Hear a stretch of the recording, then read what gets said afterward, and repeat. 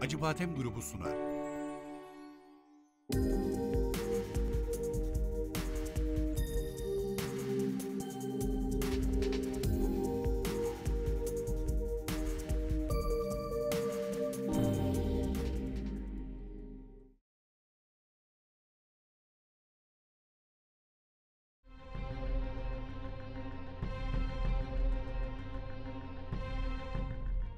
Gittiğimizde hastaneye. Röntgenlerinde kısıtlılık çıktı kalçada. İlk protez lafını orada duydum ama ben. Protezlik bir hastaya doğru gidiyorsunuz. bir takım sıkıntıları varmış. İki yıl zarfında bu duruma getirmiş oldu. Benim olacağım ameliyat büyük bir ameliyat sınıfına giriyor. İnanın şey yapıyorsunuz, beyniniz kabul etmiyor. sürecin ilerleme aşamasında da bu noktaya geleceğini çok fazla bilmiyoruz.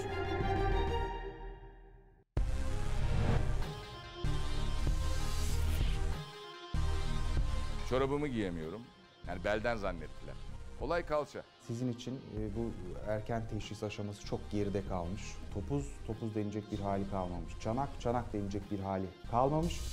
5-6 ay daha beklediği takdirde bu eklemler donacak ve donduktan sonra da destekle dahi yürümesi e, te- teorik olarak da pratik olarak da mümkün değil.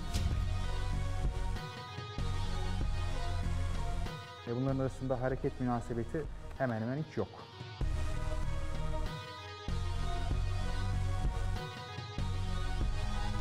Önce acetabulum dediğimiz çanak kısmına protezi yerleştireceğiz.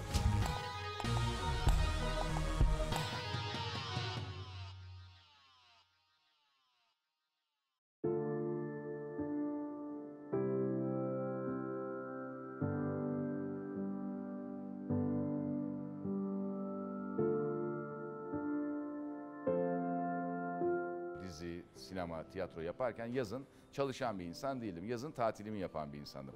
Dolayısıyla vücut yazın 4-5 ay dinlenmeye e, geçiyordu. Nevzat geldi bana bu konuyla alakan var mı diye sordu. Daha çok üzüldüm. En son Alanya'da iki aya yakın otelde klimayı hiç kapatmadan ıslak ıslak duş alıp yattık. Denizde yüzmedik. Sporu ben işlerin verdiği şeyden dolayı, yoğunluktan dolayı, yorgunluktan dolayı sporu bıraktım. Ben fitness yapan bir insanım. Ee, dolayısıyla bunlar tetikledi. Neyi tetikledi? Ee, benim hareket kısıtlılığımı tetikledi. Bir genel olarak bir bağışıklık sistemi çöküşü olaraktan e, gittiğimizde hastaneye e, röntgenlerimde kısıtlılık çıktı kalçada, kalça eklemlerimde. Fakat ilk protez lafını orada duydum ama ben. Protezlik bir hastaya doğru gidiyorsunuz.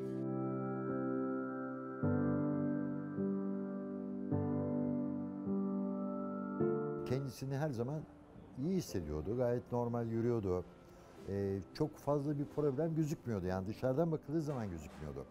Ama demek ki onun bir takım sıkıntıları varmış. Bu yavaş yavaş kendisini yani benim gördüğüm kadarıyla iki yıl zarfında bu duruma getirmiş oldu.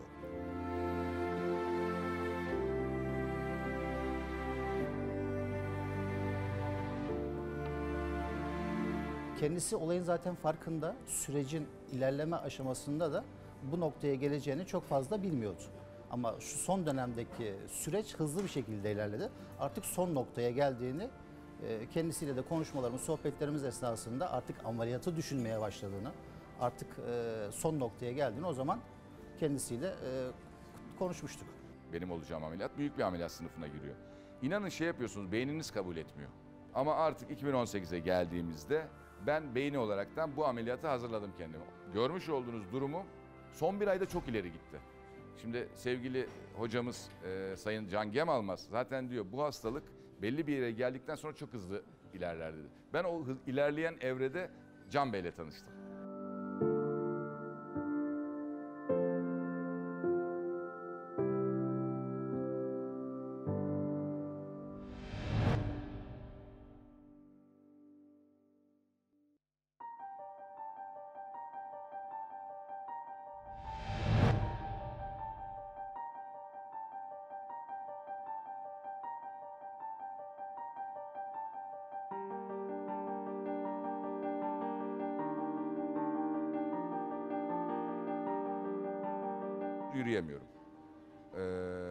Çorabımı giyemiyorum.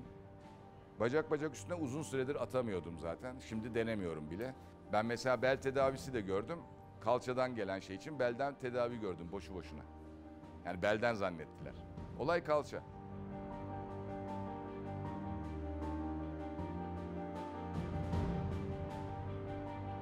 Hocam şimdi şöyle, e, sanırım zaten bizim konumuz ameliyattı. Evet. Konuştuğumuz üzere ve ben artık ona istinaden galiba vücut son noktaya geldi. Yani kemik Karar verdiniz yani artık. Tabii ki karar verdim. Ayhan Bey yani şimdi daha önce sizinle konuştuk ama bir kere daha söylemekte fayda var. Ee, osteonekroz ne yazık ki erken teşhis edildiği zaman dahi %100 tedavi şansı olan bir hastalık değil. Öte taraftan sizin için e, bu erken teşhis aşaması çok geride kalmış ve kalça gerçekten şiddetli bir kireçlenmeye gitmiş. Bakın bana o gün getirmiş olduğunuz röntgen filmleri burada mevcut. Bu sizin leğen kemiğiniz, Evet. ve de işte sağ kalçanız, sol kalçanız. Burada neredeyse hiç kalça eklemi kalmamış diyebileceğimiz noktada. Tabii. Normal sayılabilecek bir kalça görüntüsü göstereceğim. Yani aradaki fark gözünüzün önünde canlansın diye. Bakın bu bir hastamızın sağ kalça eklemi. Tamamen normal değil ama gördüğünüz gibi e, bir topuz, bir de soketten oluşan, e, birbirleriyle tamamen uyumlu bir eklem söz konusu. Kalça eklemi bu. Öte taraftan sizin durumunuzda sağ kalçanın durumu ne yazık ki artık yani topuz, topuz denilecek bir hali kalmamış. Çanak, çanak denilecek bir hali kalmamış. Bu nedenle hem şiddetli hareket kısıtlılığınız var, hem güçsüzlük artık kaslarda çok yerleşmiş, hem de bunun yarattığı ağrı nedeniyle bu artık yaşa bakmaksızın mutlaka total kalça eklem proteziyle e, tedavi edilmesi gereken bir noktada. Şimdi siz karar verdiğinize göre bugün şunu yapacağız. Önce bir tomo- tomografi istemi yapacağım sizden. Ve hatta o tomografi istemi e, çekil- çekildikten sonra e, onun üzerinden yapacağımız, yaratacağım modeli size nispeten bu elimde normal kalça anatomisini reprezente eden pelvis kemiği ve efendime söyleyeyim buradaki uyluk kemiğiyle e, karşılaştırmak suretiyle sizinkinin durumu ne halde bunu gösterebileceğim. Bu tabii sizin e, sizin için en fazla işte durumu anlamanıza yardımcı olacak. Ama öte taraftan bu işi yapmamız bize bu kemiğin içine protezi hangi açıyla yerleştirirsek, hangi boy protezi yerleştirirsek gibi e, bir sürü soruyu hani önceden sorup cevaplarını ameliyattan önce görmemizi sağlayacak. Onun için tomografi isteminizi yapıyorum. Lütfen çektirin. Mütakiben tekrar bir görüşelim. Buyurun eve gidin.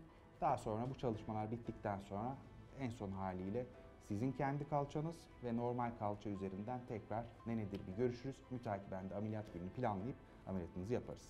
Doğru, tamam Peki hocam. o zaman görüşmek üzere. Teşekkür ederim hocam. İyi günler. Çok mersi.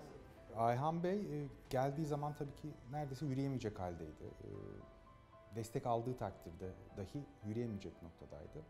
Bu kalçadaki kireçlenme neredeyse femur dediğimiz kalçanın topuz kısmının içerideki çanağa kaynayacağı, kaynaşacağı, ikisinin tek bir kemik haline geleceği bir sürece doğru gitmek git- gitmesine çok az kalmış, ramak kalmış. Ama öte taraftan hala çok az da olsa eklemde bir hareketlilik var. Onun için zaten hali hazırda 2-3 dakikada olsa yürüyebiliyor. Ama bir 5-6 ay daha beklediği takdirde bu eklemler donacak ve donduktan sonra da e, iki ekleminde don, don- donuk olan bir hastanın e, destekle dahi yürümesi e, te- teorik olarak da pratik olarak da mümkün değil.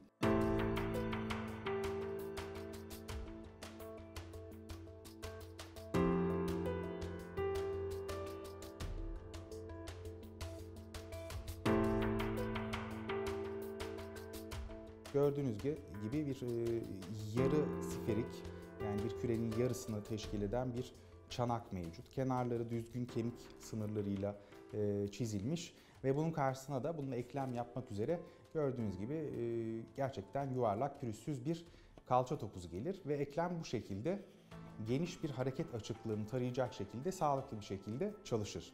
Bu sağlıklı eklemin görüntüsüyken Ayhan Bey'in kalçasında e, deminkine nazaran çanağın artık tamamen deforme olduğu, içinde kistik çukurların oluştuğu, e, kenarında çok büyük osteofit dediğimiz yine kemik çapaklarının oluştuğu bir durum söz konusu. Karşı tarafta ise yani femur başı dediğimiz topuz kısmında ise artık ek- topuzun topuzluğunun kalmadığı, e, eklem münasebetinin ve uyumunun tamamen bozulduğu bir durum söz konusu. Deminki e, normal örneğe nazaran Bu iki e, eklem parçasının bir araya getirilmesi suretiyle e, hareket ettirmeye çalıştığımız zaman görüyoruz ki gerçekten birbirlerini bazı noktalarda sıkıştırmak suretiyle hareketi engelliyorlar. Zaten bunu Ayhan Bey kendisi ifade ediyor. Yürürken bunlar takılıyor. Bazen açılır gibi oluyor ama genelde oynamıyor, oynatamıyorum ve çok canım acıyor diye. İşte bu bu kenarlarında oluşan büyük kemik çapaklar, kistik e, oluşumlar ve topuzun yuvarlaklığını kaybetmesi neticesinde eklemin uyumunun bozulması suretiyle olan bir hadise. E, ve tabii bunu düzeltmek için yapılacak olan şey e, buradaki çapakların temizlenmesi, kistlerin içinin taze kemik aşılarıyla e, doldurulması, mütakiben buraya metal bir yuva oluşturulması ve topuzun da buradan kesilip çıkartılmasından sonra yine yerine metal suni bir eklem olmak üzere e, uygulamak suretiyle tekrar e, işte iyi hareket eden, uyumlu, ağrısı olmayan, geniş bir hareket yelpazesi sunan bir kalça elde etmeye çalışacağız.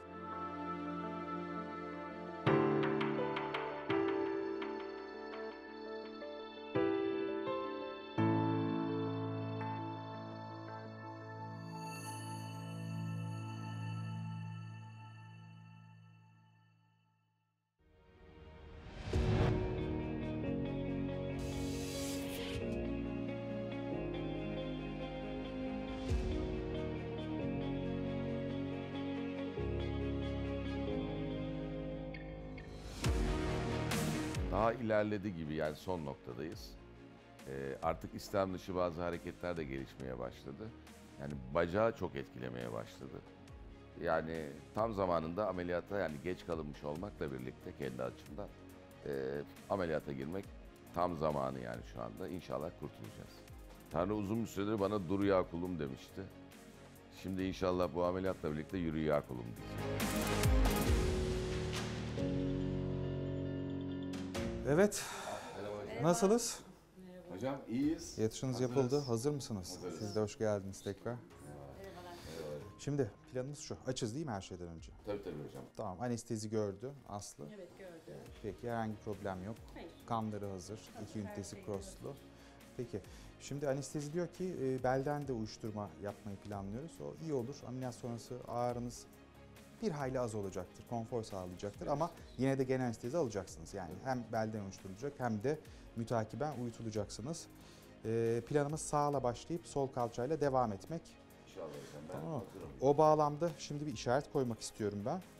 Bizim cerrahi prosedürlerimiz gereği ameliyat olacak uzvun işaretlenmesi gerekiyor. Ne yapayım? Ee, paçayı sıvayabilirsiniz. O daha uygun olacak. Hı hı. Buraya isminizin baş harflerini yazacağız şimdi.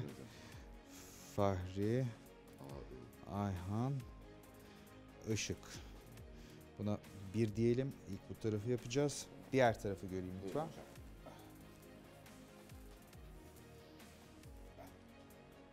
Bu da ikinci tarafımız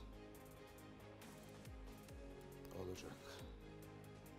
Basit bir kireçlenme hastalığındaki görüntüler eklemi sınırlı şekilde harap ederken Ay- Ayhan Bey'in röntgenine baktığımız zaman eklemdeki deformasyonun ve oluşan osteofit dediğimiz kemik büyümelerinin ne kadar e, dehşetli olduğu çok net bir şekilde ortaya çıkıyor. E, Bu tabii hareket kısıtlığına neden olmak suretiyle hayatını çok ciddi bir şekilde olumsuz etkiliyor. Tabii hekim olarak da iki kireçlenme hastasına da yapılacak olan ameliyat kalça protezi ama Ayhan Bey'in kalça protezi normal bir kireçlenme hastasına göre çok daha zor bir ameliyat olarak e, karşımızda.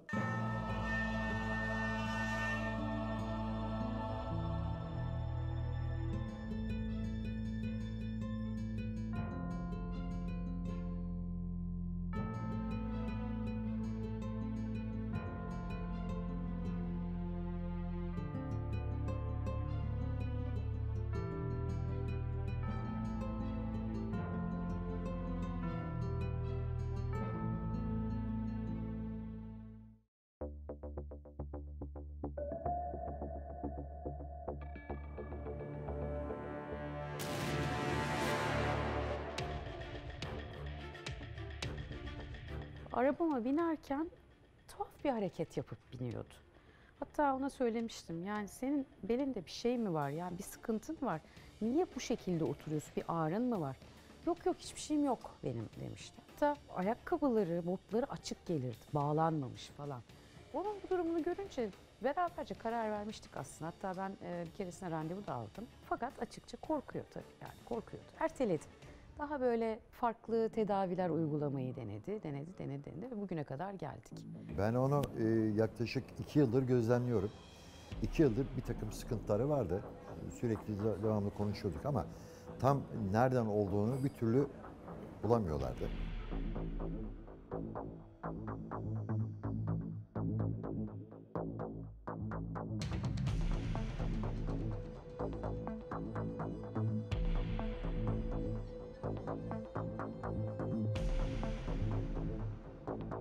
Kalçayı açıyoruz. Yani öncelikle kalçayı göreceğiz ki e, protezi koyacağımız yerleri vesaire belli edelim. Biraz sonra başı göreceğiz. Evet. İşe yaramayan başı kesip kenara alacağız. Ardından da önce acetabulum dediğimiz çanak kısmına protezi yerleştireceğiz. Onun kontrollerini yapacağız. E,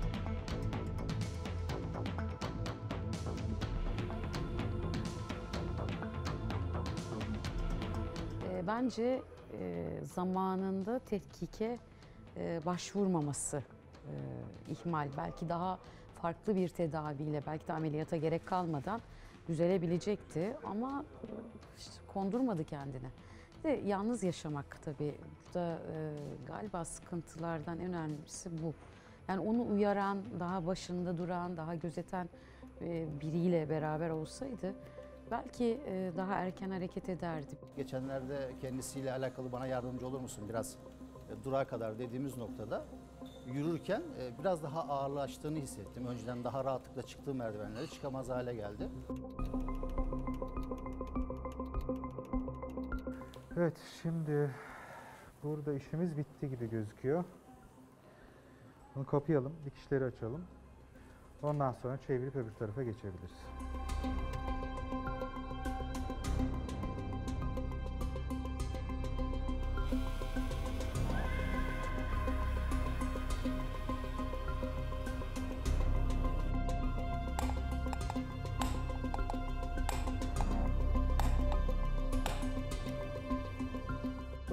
Şekilde protezleri yerleştirdik. Ee, biraz sonra bu kalçayı da kapataraktan ameliyatı sonlandırıyor olacağız.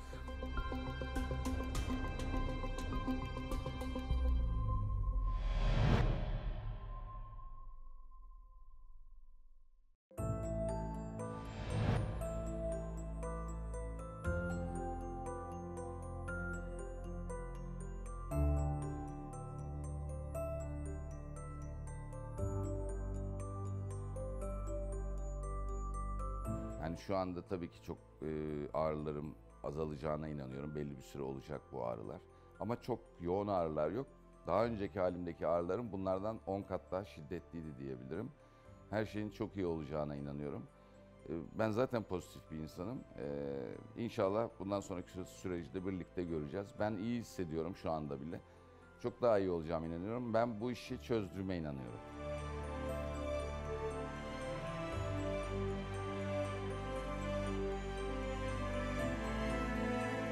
Hastaneye gitmekti. Ben geç kaldım. Diğer arkadaşlarımız, diğer insanlar lütfen geç kalmasınlar. Yani ben belki de başka şeylerin eşiğinden dönmüş bile olabilirim. Çünkü zor bir ameliyat geçirdiğimi söylüyorlar. Zaman biraz tartışılır ama inşallah bundan sonra çok değişik yeni bir hayat beni bekliyor olacak diye düşünüyorum.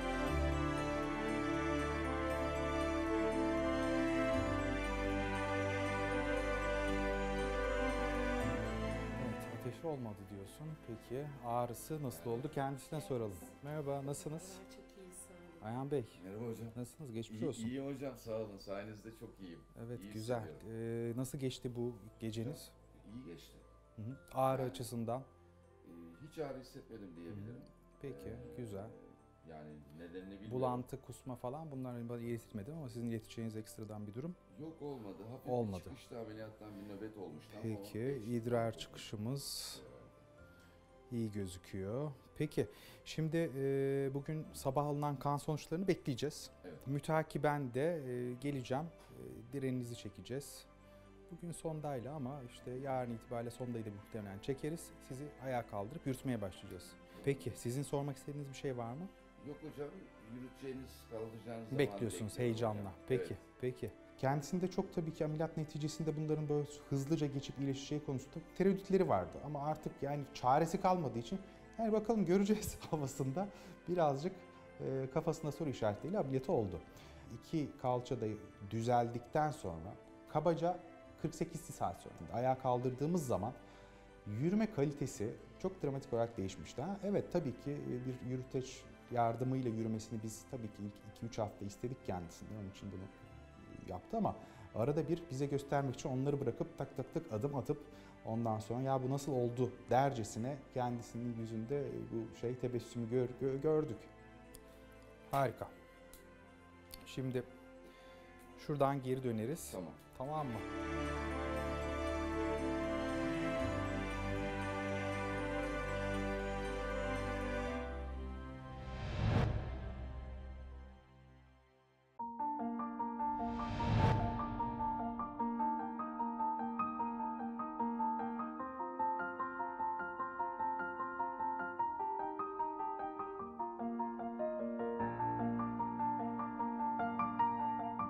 Ayhan Bey eskiden ne kadar aktif bir insan olduğunu anlatıyor, detaylandırıyor. Bu durumun artık uzamış bir şekilde kendisini hareketsiz bırakması, e, nacar bırakması nedeniyle de e, bunları sanki geçmişte anılarmış gibi anlatıyordu. Ama işte biz bu işi yapıp bundan bu kadar hızlı bir şekilde sonuç aldıktan sonra hayata yeniden doğmuş gibi oldu ve biz de onun o güler yüzüyle daha fazla e, birlikte olmaya başladık. Onun için Ayhan Bey çok hem sevdiğimiz bir hasta hem de sevdiğimiz bir sanatçı.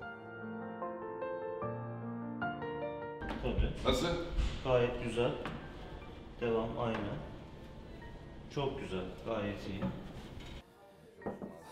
Evet, selamlar. Nasılsınız? Merhaba hocam. Teşekkür ederim siz. Ayhan Bey, Merhabalar. nasıl gidiyor? İyi gidiyor Hı? hocam. İyi gidiyor. Geldi çattı gün. Evet. Şakasını yapıyorduk sizi buradan doğrudan sete gönderirim diye ama neredeyse öyle olacak kadar iyi herhalde değil mi? Vallahi hakikaten öyle hocam Evet. ya. Peki işte yani sayılı gün çabuk geçiyor ama çok şükür yani kazasız belasız atlattık. İnşallah. Ee, şimdi tabii bundan sonra dikkat etmeniz gereken şeyler olacak. Evet. Yani tam normal yaşantınıza dönmeniz kabaca 3 ayı bulacak ama e, ameliyatın kabaca 1-1,5 ayı geçtiği zaman sizin kısa gezme dolaşma programları, ufak tefek iş güç giderme gibi ihtiyaçlarınızı karşılamanız mümkün olacak. Evet. Ama en azından ilk bir ay boyunca evde e, size bir takım ihtiyaçlarınız için destek olabilecek bir yakınınızın olması özellikle benim önereceğim bir şey olacak. E, şu aşamada artık değneksiz ve yürüteçsiz yürüyebiliyorsunuz. Ama daha önce anlatmıştım bu protezlerin kemiğe daha iyi tutunabilmesi için e, bu ilk 3 hafta binen yükü çok fazla olmamasına dikkat etmek gerekiyor. O bağlamda sizden rica ediyorum. Lütfen ya ağrımıyor, basabiliyorum, ne gerek var diyerekten yürüteci veya en azından değnekleri bırakmayın. Tamam. Üçüncü hafta zaten bunları atacağız gidecek. Tamam hocam. Peki o zaman e, bu şekilde iyi bir sonuç aldığımız için çok çok mutlu olduk. Sizinle de tanışmış olduk.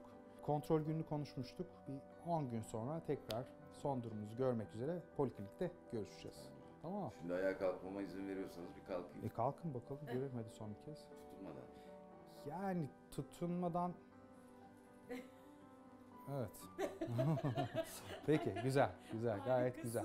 Peki Marisa Hanım görüşmek üzere. Çok teşekkür ederim. Siz de kendinize iyi Can bakın. Hocam. Görüşürüz. Hocam her şey Çok için güzel. teşekkür Görüşürüz. ederim. Her şey Reçete için ve çok evrakları teşekkür hemşire ederiz. arkadaşım getirecek. Zaten Tamam. her zaman görüşeceğiz. Görüşürüz. Bir ayrılık değil. İnşallah.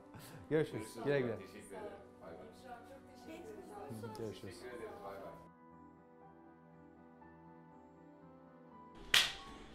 Şu andaki duygularımı anlatma kelimeler yani yetmez. Çünkü ben daha önce de söylemiştim. Sadece yürümek istiyorum. Yani yürümek her şeyin başı. Yürüdükçe her şey yoluna girecek. İşler, güçler, arkadaşlar, ufuklar açılacak. Ee, zaten kazandım. Artık onu bir daha kaybetmeyeceğim. Yaptık bir şeyler, bir hatalar. İşte e, hepsinin artık üstü geride kaldı. Üstüne örtüyoruz. Yeni bir hayata başlangıç yapacağız. Merhaba, sağ olun. Ayhan Bey çok mutlu. Ee, yeniden doğmuş gibi. Ee, planlar yapıyor, projeleri var aklında. e, seyahat etmeyi istiyor. Çünkü ben şimdi anlıyorum ki aslında hep kendini kısıtlamış hareket etme kısıtlılığı e, yani Allah korusun kimsenin başına vermesin tabii E, ve çözümüne odaklanıp sonuçlandırdı. E, çok güzel günler e, bekliyor onu çok mutlu.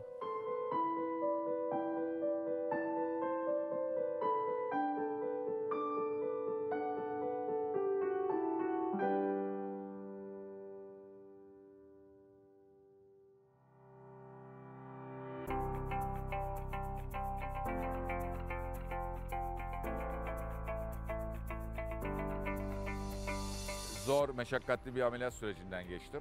Bir gün kadar sürdü Walker'ı bırakmam. Ee, daha sonra evin içinde bastonla gezmeye başladım. Ee, ertesi gün ev içinde bastonu da bırakıp yavaş yavaş yürümelere başladım. Hatta dikkat etmeleri gerekiyordu tabii ki bana. Fakat ben dedim iyiyim. Yavaş yavaş adımlara öyle başladım. Ee, geldiğimiz noktada şu anda ben bastonları atmış vaziyetteyim. Çok rahat yürüyorum. Çok iyi hissediyorum. Yıllar sonra e, hatta son 15 gündür diyelim hiç ilaç kullanmıyorum. Yani bir ilaç bile kullanmıyorum. Bu çok güzel bir şey. E, bundan sonrası artık bizde. E, gerçekten hayat e, benim için yeniden başladı diyebilirim. Tekrar merhaba dedik.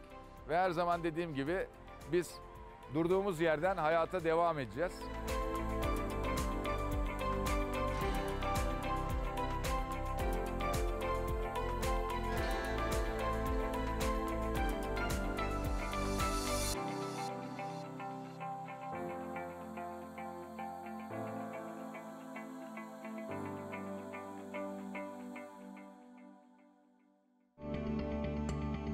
Acıbadem Grubu sundu.